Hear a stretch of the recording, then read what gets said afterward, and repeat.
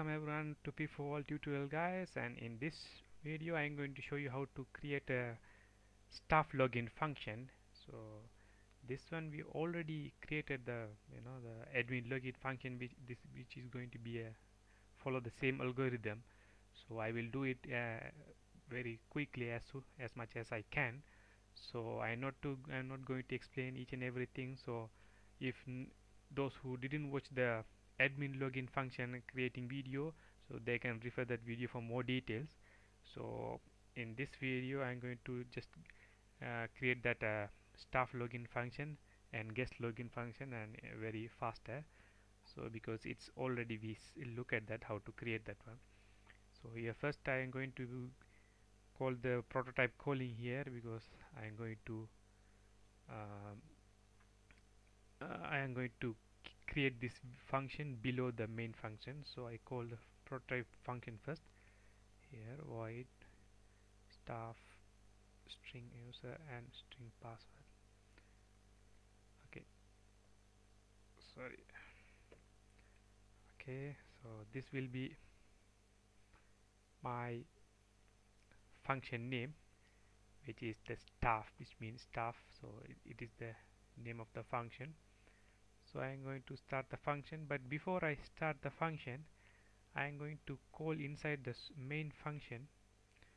Uh, I am going to create a switch here already uh, created. So I am going to add case 2 and case 3 for staff login and guest login which you know already uh, that uh, it is the number 2 for staff login and number 3 for guest login so I'm going to call this one from inside this. So after this I will show you how to create the function.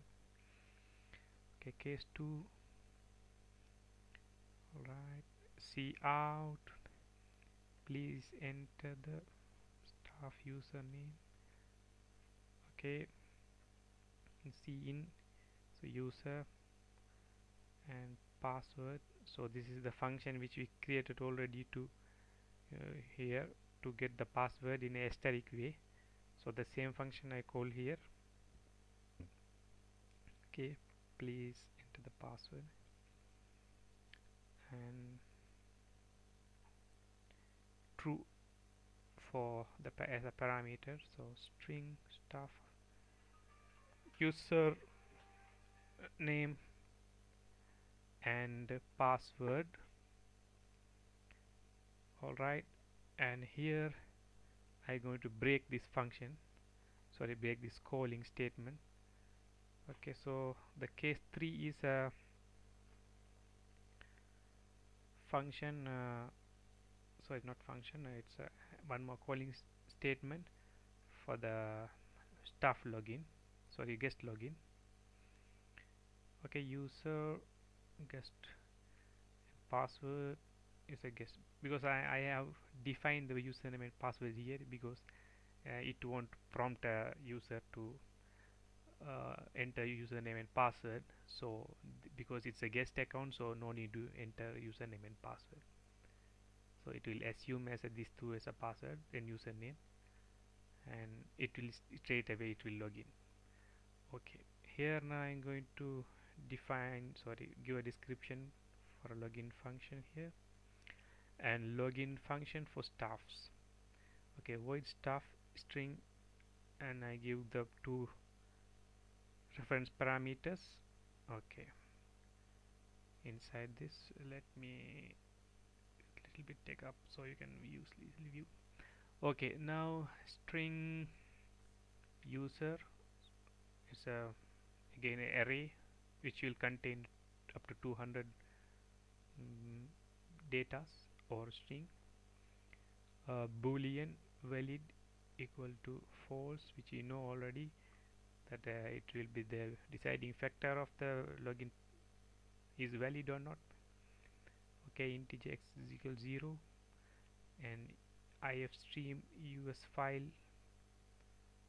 us file dot open is the use of dot txt. So this is the file which is going to be stored the username and password of the staffs okay and character choice okay.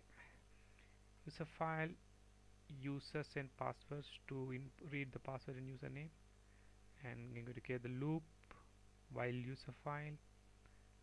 Okay read username and passwords from file and store them in a arrays. Okay x plus plus. Okay hold on a minute.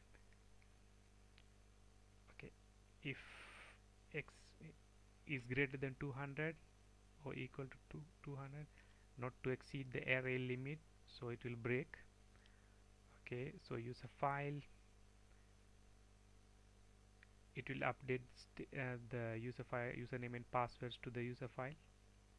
Okay and for loop to match the username and password of the staff. Here if user equal to user a and password equal pass1 equal to password. Okay match username and password with the array components okay? Then cout okay successfully logged into staff account if it is matching. So this message will show on the screen and the valid boolean will be the true. It will take the true, attribute and it will break the loop. If user equal guest and pass1 equal guest. So this means they have selected the guest uh, login so it will log in into the guest account. So cout successfully logged into guest account. Okay. Alright then valid equal true again and it will break the loop. Alright. So if valid not equal true okay then cout usernames and password is invalid. Okay then system will pause.